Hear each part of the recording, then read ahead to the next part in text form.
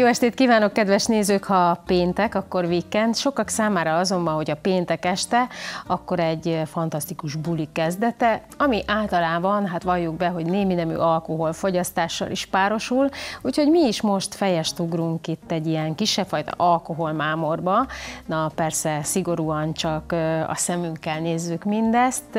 Horváth László kedves vendégünk, aki barista, mixeroktató, felszolgáló, és gyakorlatilag te mindent tudsz, amit ugye egy igazián jó mixernek tudni kell, sőt, ezt tanítod is.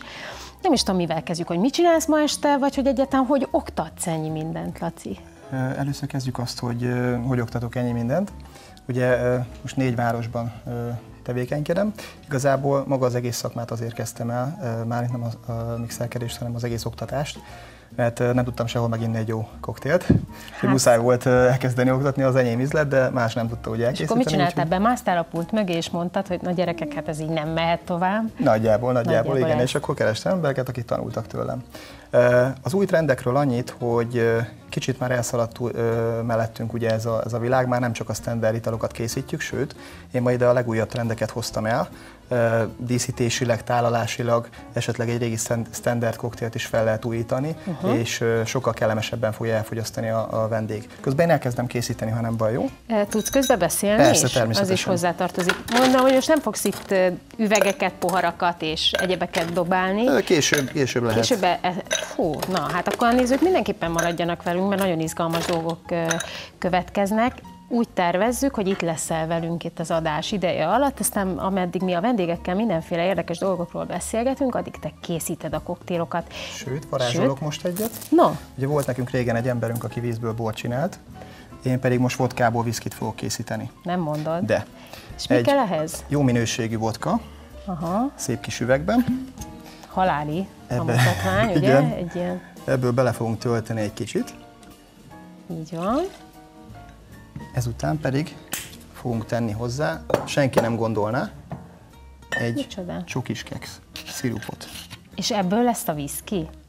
Ennek az ízehez hasonló hozzá, igen. De most jó ötletet adtál szerintem a kocsmárosoknak, kipróbálják, bár azt gondolom, Sőt, hogy... Sőt, még egy kis bittert is teszünk bele. Ha, lehet, hogyha alapanyagokat összeadják, akkor nem járnak jobban, mint hogyha igen, vásárolnak igen. egy... Nem valószínű egy viszkit, és akkor ezt összekevered. Ezt nem, nem tudom, ki fogja ezt megkóstolni. Úgy látom, hogy a stúdióban vannak vállalkozókedvű kerékpárral érkezett kedves kollégák, vagy kolléginák. Közben lehűtjük a poharat is megfelelő hőfokra. Ezt mondjuk eddig én is meg tudom, Laci, csinálni. Igen? Gondolom, hogy ettől izgalmasabb, illetve hát nehezebb dolgokat kell azért elsajátítani annak, aki a te iskoládba bekerül, de hát az alapoknál kell kezdeni. Természetesen. Azt gondolom, hogy a kedvesség, a jókézügyesség az elengedhetetlen. Ez Van valami számít. kritérium egyébként, hogy ki az, aki mondjuk ne jelentkezzen mixernek? E, igazából nem, tehát bárkinek meg lehet tanítani, akit érdekel egy kicsit, és én azt gondolom, hogy lelkesnek kell ehhez lenni. Uh-huh. Tehát nem feltétlenül csak az számít, hogy milyen a kézügyességünk, hanem hogy legyünk lelkesek mindenképpen. Na most az előbb itt mit fújtál le? Ez mi volt, amit e, láttunk? Ez egy magyar találmány igazából, ez egy ital parfüm. Uh-huh. E, nem csak illatot kölcsönöz az italnak, hanem ízében is megváltoztatja. Ez például most egy viszkis hordó illat. Nem Tehát sem. amellett, hogy meg elkészítjük a viszkinket, uh-huh. emellett még az illata is olyan lesz. Hát azért, mert ez nem igazi viszki, ezért kell hozzá a viszki illat, nem? Kicsit megillatolod. Uh-huh. Kellemes. Sőt, Mondjuk én nem vagyok egy nagy viszki fogyasztó, de... Egy raklapra. Igen. És még egy kis csokit is ide teszünk mellé mondjuk. Nagyon. Ezt még a gyerekek is benyaldosnák, ez most már annyira jól néz ki. Igen, esetleg még tehetünk mellé egy kis áfonyát. Uh-huh. És már egy olyan tálalás, úgy gondolom, amit uh, igazából uh, csak ránéz az ember, akár színkompozícióban is, akár uh, kinézetre is, tehát uh, jobban elfogad, mint hogyha mondjuk kap két szívószállal egy uh, pinyekoládát. Így van. Nagyon hát finom ital, de... Mm, egy kicsit azért most így megmondom őszintén, ez nem volt fair tőled, most halászomjasan itt, itt fogok epedezni a következő percekben, úgyhogy én azt szeretném kérni, hogy ha lesz időd valami kis alkoholmentes koktélt is készíteni, hogy ne halljunk szomjan, akkor neked jó munkát kívánunk, és Köszönöm azért még ö, mindenképpen el kell mesélned, hogy mit jelent ez a barista dolog, mert azért jó. ez engem nagyon-nagyon érdekel. De nagyon-nagyon érdekel következő vendégünk életútja is, nagy szeretettel köszöntöm Gulyás Emilt itt a stúdióban. Egy fantasztikus kiállítás nyílt nemrégiben Nyíregyházán, hm. a könyvtárban, ön pedig egykori nyíregyháziként és megszállott fotósként gyakorlatilag, hogyha jól értem, akkor négy évtizeden átkattingatott, ugye? Igen. Úgy tudom, hogy Nyíregyházán született. Igen. Hogyan alakult a pályája, az életútja? A pályám úgy alakult, hogy Nyíregyházán születtem, iskoláimat itt végeztem Nyíregyházán, és 1979-ben biológia földrajzszakon végeztem, akkor még a Besenyei György tanárképző főiskolám, és egy ideig pedagógus voltam, aztán úgy alakult, hogy a Solomnis könyvkiadó vállalatnál dolgozom a mai napig is, ennek már több mint 20 éve, és a könyvkiadónál a kiadott könyveinkhez, valamint kiadványunkhoz fotókat készítek, de nem csak ennyiből áll nekem, hanem el tudom azt mondani magamról, hogy ez nekem hm, szenvedély, mert minden, ami szép és jó az életben, azt, azt szeretem lefotózni. Törzsökeres nyíregyháziként erre törekszem, és szobrokat, utcákat, tereket, emléktáblákat, városképeket nagyon szívesen fotózom és megjelenítem. Vallom azt, hogy ez egy olyan a fotózás a történetében, hogy egy pillanatot csak egyszer lehet megörökíteni, utána már nem. Sajnos akadnak olyan pillanatok, amikor egy-egy felvételt többször is meg kell ismételni, mert például utca felújítás, csatornázás, vagy egy épületet újból átalakítanak, tataroznak, és így tovább, akkor a fotósnak nincs már dolga, mint türelemben lenni, és várni majd azt a pillanatot, amikor meg lehet szintén örökíteni ezt. Tehát azért mondom, hogy, hogy alakul. Ugyanakkor talán visszatérve egy mondattal a kiállításomhoz, tényleg vannak olyan képeim, ami egy-egy utcarészetet mutat be, és amit már csak különböző ki, régebbi kiadványokban lehet felfedezni, vagy pedig az élő emlékezetben a magunk korosztályabeli emberek tudnak erre visszaemlékezni. Ezek hiszen, nagyon hiszen érdekes új, dolgok. Új hogy... épületek épülnek, új utcák, terek születnek, nagyon sok utcát is nyitnak meg, és én mindennek örülök. Nagyon szépen fejlődik Sóstó. Azt el tudom még mondani, hogy több tízezer képen van, és hát a hely az nekem adott volt a megyei, a Móri Zsigmond megyei és városi könyvtárban. Ennyire volt lehetőségem, ennyire tudtam jelentkezni most a kiállításomra. Hozzáteszem a megyei Móri Zsigmond megyei és városi könyvtárban a második kiállításom. Az első az 2012 tavaszán volt, és volt egy 2014-ben a Zinyolan a gimnáziumban, mert ott érettségiztem 1973-ban, és mint régi Zinyis öreg, öreg diák úgy gondoltam, és nagyon szívesen fogadtak. Ott is ö, ö, ö, meg volt nekem a kiállításom. Folyamatosan készülök, mondom, és csinálom. Ugyanakkor még talán annyit, hogy érdekelnek a kollégáim, tehát fotós kollégáim munkái is. Szeretem a képzőművészetet, a festészetet, a grafikát, és eljárok különböző kiállításokra is. Kedvenceim a, a, a festők, grafikusok közül például a Hánémet Katalin, vagy a festők közül a Sortész Albert úr, aki sajnos már nincs, nincsen között, mert két éve elhunyt, vagy a Huszár István, és itt tehát ezek a realista festészetet voltak otthonosak, és maradandót alkottak. Én ezeket nagyon szeretem, és ha olykor adódik egy-egy olyan hogy gyűjteményes kiállításon, hogy fellépnek, akkor szívesen megyek el is, nézem meg ezeket újból. Bár vannak, vannak róluk kiadványok is. Hát Igen. kedves Emil, ön nagyon hálás Igen. riportalany, hiszen nem Igen. is kell kérdeznem, gyakorlatilag Igen. az egész életútját itt szinte Igen. egy levegőre elmondta nekünk. Igen. Ugye említette, hogy Igen. tízezer képe van. Mostani, Körülbelül, mostani ezt, ezt nem kiáll... számoltam. A mostani kiállításon milyen szűrő alapján válogatott? Mert hát nagyon nehéz ennyi képből kiválasztani Igen. azt, amit a nagy közönség elé tár. Azt tudom mondani, hogy a rohanó világunkban sajnos azt kell, hogy tapasztaljam, hogy az emberek elmennek az utcákon, és a, a saját gondolataikban, gondjaikban vannak túlságosan elmerülve.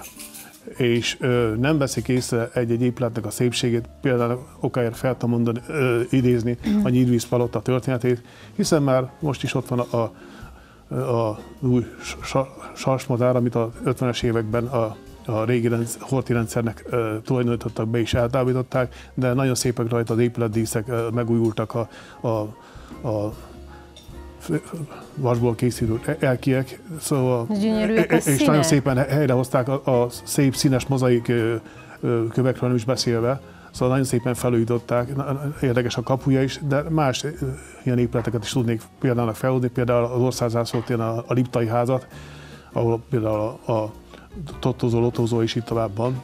Tehát so, sok, ilyen, sok ilyen épület, de ugyanúgy szép a városháza is, nagyon szép annak is a kerítése, tehát a szobrok maga, a költségszobor is, amit Bíró Lajos szobrászművi szalkotásra is 2008-ban avattak fel, a rajta lévő szobrok, a Szent István és a Szabolcs Vedér, tehát mind, mind olyan, ami, ami nagyon szép. Ugyanakkor tudnám azt is mondani, hogy megtekintésre, ha jelentkezik az ember, megengedik, hogy megnéz az ember, de folyosókon készített felvételeket, tehát fotókat, vagy a nagyteremről például üresen, vagy pedig rendezvényekre, az meg külön engedély szükséges, hogy valaki bemenjen egy adott rendezvényre, ami meg akar örökíteni, és azt meg kell kérni, a, meg mondják ott a illetékes helyen. Szóval ez, ez, ez mind ilyen dolog. Templom belsőket is fotóztam már, evangélikus templomban is, de ott most azt el kell mondanom, mert az ottani levéltáros ö, hölgy és a lelkészulak elmondták, hogy most belülről fogják felújítani a, a evangélikus templomot, valamint a parókiát és levéltárat, egyházi levéltárat. Ott sajnos a tavasszal volt egy súlyos beállás, e, esődése is Ott sok mindent helyre kellett hozni, de így is azért nagyon sok minden megmaradt. Tehát nagyon sok mindent lehet fotózni. E, Koktélt fotózott már, kedves Emil? Tessék? Koktélokat fotózott már? Koktélokat úgy nem mm, különösebben. Most elmulasztottam az alkalmat, mert nem hoztam most el a TV Viszont... stúdió felvételre a fényképegépen, bocsánat, de olyan volt már, hogy amikor nyaraltam például a Balatonon több helyen, hogy, hogy amikor elmentem a szállodába, akkor ö, magyaros ételeket, kezdve a halásztétól, kezdve különböző sültek, nagyon szép torták, gyümölcsös tálakat lefotózgattam. tehát is... Ez, ez, ez, is örömet jelent számomra, tehát nem csak maga az evés, tehát magának az elfogyasztása. Nagy Igen. szeretettel invitáljuk Önt egy koktélra, Nagyon mert szépen az köszönöm, de nem, sajn... nem, nem szoktam inni, nem? de csak hát egy minimálisat éppen, hogy beledugom a nyelvembe, mert nem. A jó, jó fotósnak nagyon nyilvánvalóan nagyon ö, ö, pontosan kell, hogy belője ugye a célpontot, és maga Igen. biztosan tartsa a fényképezőgépet. Igen. Köszönjük szépen, hogy eljött hozzánk, és kívánunk még több tízezer vagy millió kattintást, és reméljük, hogy hamarosan láthatunk újabb képeket itt Nyíregyházán. Igen, annyit talán, hogy 60-on túl, most október 28-án leszek, vagy 63, és folytatni fogom, én azt mondom, amíg az ember eredetelijében van, tehát nem, nem a kor kell magában nézni, addig folytatható ez a, a, a tevékenység és maga, maga a művészetek. Lesz, lesz bőven befejezés, annyit mit fotózni, hiszen lesz a Tirpák Fesztivál, és így tovább a különböző rendezvények, vagy voltak a múzeumok éjszakája, a Vidor Fesztivál, bőségesen lesz, és ezek jövőre is megismétlődnek, és nagyon szép, szívesen el fogok rá menni. Köszönöm szépen a meghívást, hogy meghívtak, és hogy elmondhattam mindezt a a nagyon, kedves tévénézőknek. Nagyon szívesen, mi pedig hamarosan folytatjuk egy nagyon érdekes témával. Maradjanak velünk! Ahogy néhány pillanattal ezelőtt mondtam, egy nagyon érdekes témával folytatjuk a mai műsort. Aztán gondolkodtam azon, hogy nem is tudom, hogy az érdekes jó szó-e. Minden esetre azt hiszem, hogy egy kicsit talán az emberek félnek beszélni a halálról. Élünk, meghalunk, és mégis úgy tekintünk az életünkre, mint hogyha annak soha nem lenne vége. Talán ez a, a mai pörgő társadalom nem is akar erről tudomást szerezni. Nemrégiben egy nagyon különös versenyt rendeztek, országos sírásó versenyt, amelyen a Nyíregyházi temetkezési vállalat csapata is részt vett, és egy nagyon szép eredményt értek el, második helyezettek lettek. Róka Zsolt igazgató úr a vendégünk, és Grexa Mihály. A fizikumából, kedves Mihály, úgy gondolom, hogy ön ennek a, ennek a serlegnek a megszerzésében nagyon jelentős munkálatokat vagy, vagy eredményeket hozott, vagy tett, de kezdjük egy picit talán azzal, amivel én is kezdtem. Miért olyan hogy is mondjam, morbid, vagy, vagy szégyenletes, vagy legalábbis nem szeretem téma a halál ma az emberek a mai magyar társadalomban. Köszönjük szépen a meghívást. Nagyon sokat változott a temetésnek és a halálnak a társadalomhoz fűződő viszonya. Annak idején sokszor megoldották a temetést családon belül, nem kellett hozzá igazából szakmai képesítés, nem is nagyon volt szabályozva. Aztán, ahogy a munkabiztonság, balesetbiztonság, illetve hát az eszközök és maga a társadalom is fejlődött, ezek a szabályozások is fokozatosan kiterjedtek a, a temetkezésre is, és ugye annak idején volt egy, egy évszázadokon át használt szavunk a sírások, ez a fogalom a mai napig is él aktívan az embereknek a, a mindennapjaiban, valójában itt sokkal többről van szó. És hát a, ahogyan mondtad, tegeződjünk, hisz ismerjük egymást régen. Ahogyan mondtad, valóban az emberek nagyon-nagyon ritkán és nagyon, nagyon, nagyon, hogy mondjam, ambivalens vagy két, kétélű módon próbálnak közeledni a halál kérdéséhez. Senki nem szeret elveszíteni senkit, illetve hát nem is nagyon szeretnek belegondolni abba a praktikumba, hogy, hogy mi történik akkor, illetve hát hogyan zajlik a temetés maga. Azért mondtam, hogy ma már nem sírások, hanem például temetésrendezők azok, akik segítik át, talán utoljára találkoznak az elhunyt és, és a temetésben aktívan részt vesznek, mert ennek van egy nagyon komoly szakmaisága. Gondoljunk csak arra, hogy rendeletek, szabályok, szabványok azok, amelyek meghatározzák magát ezt a munkát. Kell egy nagyon komoly fizikum hozzá, Misére rá kell tekinteni, és ezt láthatjuk is. Ez csak csiszolódik mondjuk az évek, évtizedek alatt, hisz olyan izmokat kell igénybe venni, amelyek amelyek egy hétköznapi embernél nem fejlődnek olyan mértékben ki, ki mint például a, a temetésrendező kollégáknál. A szakmaiság mellett kell egy nagyfokú empátia, ami például a, az alkalmazásnak is egyfajta kritériuma, mert ők gyakorlatilag elsővonalas harcosok abban, abban a folyamatban, amit mi temetésnek hívunk és szertartásnak hívunk, hisz találkoznak a, az elhunytal, fizikailag is adott esetben kell, hogy érintkezzenek vele, találkoznak a gyász minden kellékével, találkoznak azzal a fájdalommal, amit mondjuk a hozzátartozók feléjük sugároznak, és egyfajta segítő apparátusként, vagy segítő személyzetként is jelen vannak, mert mindezt levezetik és tanácsot adnak, hogy, hogy hogyan tud boldogulni ezekkel az érzésekkel, vagy hogyan tud, tud végigmenni ezen a folyamaton mondjuk a hozzátartozó. Igen, nagyon sok dolog jutott eszembe, amint hallgattalak. Egyrészt volt egy nagyon sikeres sorozat, a Sírhant művek, amiben szerintem sok néző látta, hogy például Amerikában, vagy az angol száz kultúrában valóban van egy teljesen szinte szimpadias jellege a szertartásnak, akár filmet is vetítenek az elhunytról, és utána összejönnek, beszélgetnek, tehát valahol egy picit a túlélést és a, a, az elhunyt életének a szépségeit emelik ki, nem csak ugye a fájdalmat és a, a szomorúságot, de ha már itt említetted, hogy, hogy itt valóban nem csak fizikumról ö, kell ö, tanúbizonyságot tenni, hanem, hanem egy nagyon kemény lélek jelenlétről, hiszen gondolom, hogy vannak olyan helyzetek, amikor, amikor fiatalokat vagy tragikus ö, hirtelenséggel elhunyt ö, életerős embereket kell temetni, ami valahol azért mégiscsak ellenmond az élet természetes zajlásának, hogy az ember megszületik, és aztán nagyon-nagyon idősen egyszer csak elalszik és elfárad, és ott bizony azt gondolom, hogy önök is találkoznak ezzel a fájdalommal. Van valaki, aki ebben segíti önöket, tehát, vagy, vagy egyszerűen hozzá lehet ehhez szokni az évtizedek alatt? Hát nem hiszem, hogy ez ehhez hozzá lehet szokni, kezelni lehet a helyzetet, hozzászokni semmiképpen. Természetesen mindig más az, hogyha egy idősebbet temetünk, mint egy fiatalt, ahogy, ahogy az előbb is tetszett mondani. Eh, ahogy mondottam, kezelni lehet a helyzetet, megpróbáljuk külső segítség nélkül megoldani. Kollégákkal segítjük egymást, ilyenkor beszélgetünk sokat. Nagyon jó a Nyíregyházi Társaság, azt hozzáteszem, tehát nagyon jó a kollegalitás nálunk nagyon nehéz egyébként fiatalokat temetni nekünk is, már akik, akik több évtizede csinálják, szerintem ő nekik is. megpróbáljuk kezelni és segítjük egymást mindenképp. Sajnos nem régiben én is egy temetésen voltam itt Nyíregyházán, és, és figyeltem, hogy mennyire összeszokottan, fegyelmezetten történnek a dolgok. Tehát szinte, mint valóban egy színpadi jelenetben tudják a kollégák, hogy mikor, hogyan kell fölállni, mint egy ilyen dísz nem is tudom, tehát mintha a katonákat láttam volna egy színpadon, nagyon fegyelmezetten és szépen, és tényleg méltósággal végezték azt a dolgot, ami ugye még a, mm, ö, temetés közben látszik. Aztán maga ugye a sírásás, amiről ez a verseny szól, és amiről szeretnénk azért egy picit többet megtudni, ennek mondjuk én nem is voltam a szemtanúja, ez megtörtént már korábban. Mi volt egyébként a motiváció szerinted Zsolt, hogy egy ilyen versenyt létrehozzanak?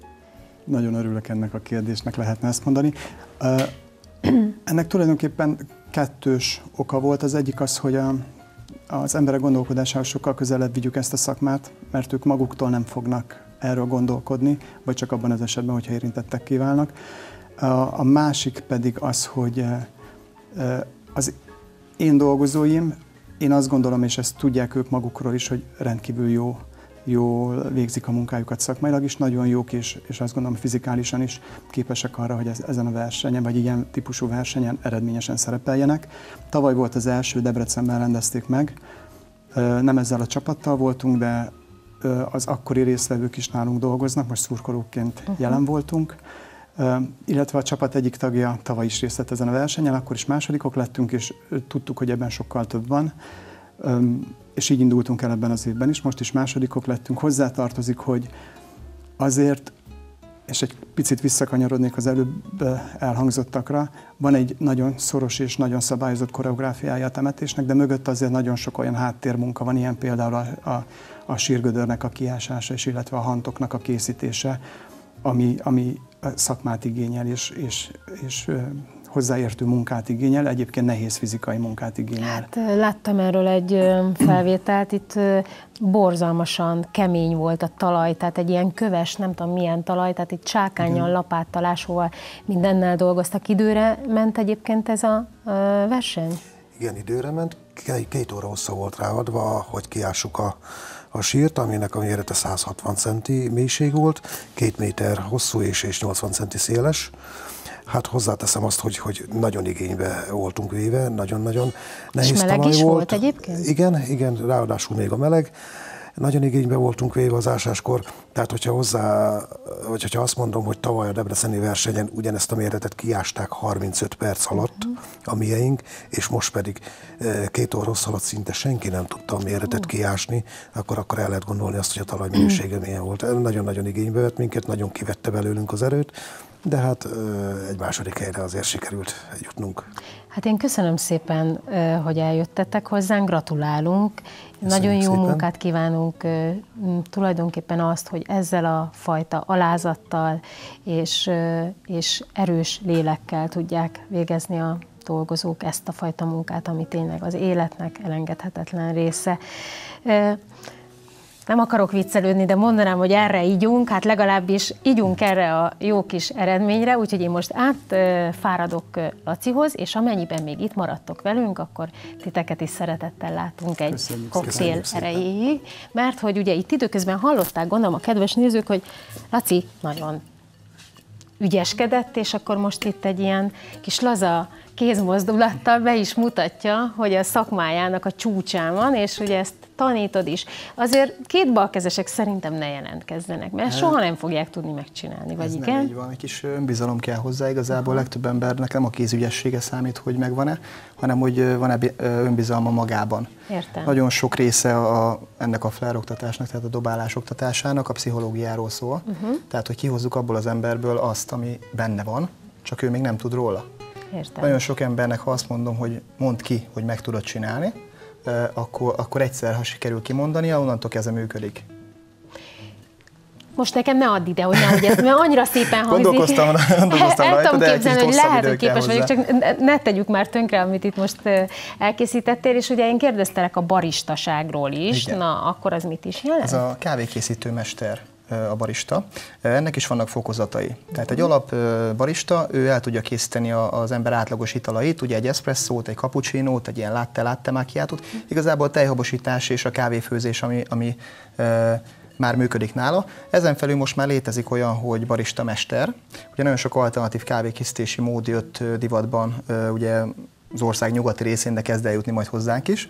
És ezen kívül Hála még neked. vannak a, igen, ezen kívül még vannak a szép töltéses, tehát ezek a latteártos ilyen szívecskét tölt bele, meg macit, macit igen, meg igen. Nyúszit, meg Van minden. a 3D latteárt, amikor már ilyen ö, habból ilyen nagy ö, formákat Olyat is ki is tudnak hozni. Tehát minden van igazából. Ha nem baj, egy pár szóval bemutatnám az italaimat. Hogyne, hallgatom. Ugye itt már megbeszéltük ez a vodkából whisky. Uh-huh ő lenne egy kozmopolitán, nem tudom, hogy nézel-e filmsorozatokat.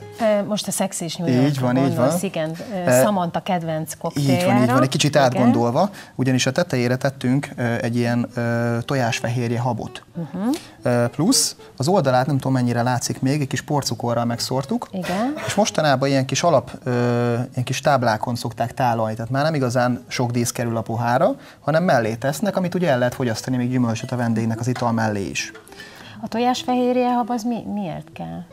Ö, más lesz a textúrája az italnak. Aha. Tehát más érzés lesz, amikor belekortyol az ember. Ugye ezt nem szívószállal fogyasztják, hanem ezt a pohárból iszza. Tehát egy ilyen habos állag jön először elő, uh-huh. és utána fog érkezni majd a kozmopolitánnek a... És olyan kis cuki lesz az ember. Hát az le a másik dolog, le igen. De... A másik pedig egy Ramos Gin Fizz. Ugye a Gin Fizz az gines limonádé, ő is kapott egy kis tojásfehérjét, fel lett turbózva. Szerintem neked mondjuk. tyúkjaid vannak, vagy valami. Nem, az is tény, hogy nagyon sok ember nem mer hozzányúlni maga a koktéloknál. Ugye van egy ilyen szakág is már, hogy molekuláris mixológia, mi ezzel is foglalkozunk, és annál már a konyhaművészetnek a, a dolgait is felhasználjuk, uh-huh. plusz a cukrász szakma dolgait is. Hát hihetetlen. a csillagos ég szerintem a határa, hova Lehet te itt el bőven, fogsz igen. jutni, de molekuláris mixológia? Igen, igen, igen. Nagyon jó. Hát Már van a... ugye molekuláris gasztronómia, és Aha. akkor ez az italkészítési verziója. Értem, meg tudod, az, aki ilyen csőalkoholista, már hogy ilyen nagyon lazák legyünk, az, lesz a az azt mondja, hogy tök mindegy, úgyis van benne egy kis fehérje, úgyhogy a, napi Most kalória mennyisége egy kis megvan. zombit készítünk egy ilyen kis tike pohárba, úgyhogy ez lesz a következő, gondolunk az alkoholistákra is. És az abban mi lesz ebben a bizonyos zombiban? Háromféle rum, ugye egy fehér rum, egy barna rum és egy erős rum, egy sherry brandy, uh-huh. egy gránátalma szirup, ananászlé, egy kis lime és akkor ez lesz jó erősen összerázva, és egy ilyen kis tiki pohárba töltve. Ez mennyi alkoholt tartalmaz? E, mivel van benne egy erős rum, egy ilyen 80%-os, ezért elég erős. Uh-huh. Tehát ez egy ilyen, én azt mondanám, hogy megiszik egy ilyet egy vendég, egy ilyen 20 percig ne igyon semmit, mert 20 perc mondjon ki a hatása. Ilyet, Tehát, igen, sajnos nekem egyszer volt szerencsém egy ilyet elfogyasztani. Sőt, én is készítettem már igen, neked koktélokat, így van. Stallone, mi volt az a film, amiben Terminátor. Ja. Az, az volt a Terminátor, és akkor azt hittük, hogy ó, hát ez nem volt semmi íze, az volt benne a vicces, és úgy tűnt, hogy abban nincs semmi, de aztán utána volt, mondtuk is az ismerőseinkkel, hát megiszol egy ilyet, és utána úgy érzed, mint amikor a Terminátorról lefoszlott minden, és maradtak a csupasz Ízében vezetékek. pedig nem érezni, Ízében tehát hogy nem finom érezni. italok itatják magukat. Igen, azt el lehet mondani, ugye, hogy azért ezek nagyon cseles italok. Tehát meg Én kell, alattomosnak szoktam hívni, de így is lehet, igen. Meg kell tanulni ezeket fogyasztani. Akkor, amikor valaki így mondjuk tényleg nem egy rutinos koktélfogyasztó, akkor, akkor kell, hogy legyen bennetek egy ilyen fajta védek, védelmezés, gondoskodás, és el kell mondani, hogy hát óvatosan. Én tanítom is a, a diákokat, hogy nagyon vigyáznunk kell az emberekre, ugyanis olyan italokkal dolgozunk, amik lehet, hogy mm, olyan hatással lennének más emberekre, amiket ők nem is gondolnak magukról. Uh-huh. Tehát ezt be kell mutatni ezt az italt, de vannak még mondhatnám a, Fleming Lamborghini-t, ugye az a lángoló Lamborghini, abból például finom, és ilyen ö, poénként megisznak többet belőle az emberek, csak az a baj vele, hogy az, az szintén a 20 perces késleltető hatás, amíg leér a gyomrunkba, és a 20 perc alatt megiszik hármat, utána már nehéz a dolog. Van valami javaslatod itt tényleg a kultúrált alkoholfogyasztás, a koktélfogyasztása mennyinél lehet megállni? Igazából nem a mennyiség kellene, hogy a lényeg legyen, hanem például egy szép és finom italt kellene fogyasztani, azzal kellene kezdeni, főleg a, aki először iszik koktélt életében. Inkább az erősebbeket szerintem hagyjuk a, a nagyon nagy szórakozó helyekre. Inkább az erősebbeket hagyjuk a nagyfiúkra. Így van. Laci, neked nagyon szépen köszönjük, és akkor szerintem ezt itt készíts, de biztos lesznek vállalkozó kezdőek, akik ezt el, hát, fogják, el fogják fogyasztani. Hát szóval mi koktélozunk egyet, aztán várjuk Önöket újabb vendégeinkkel, maradjanak velünk.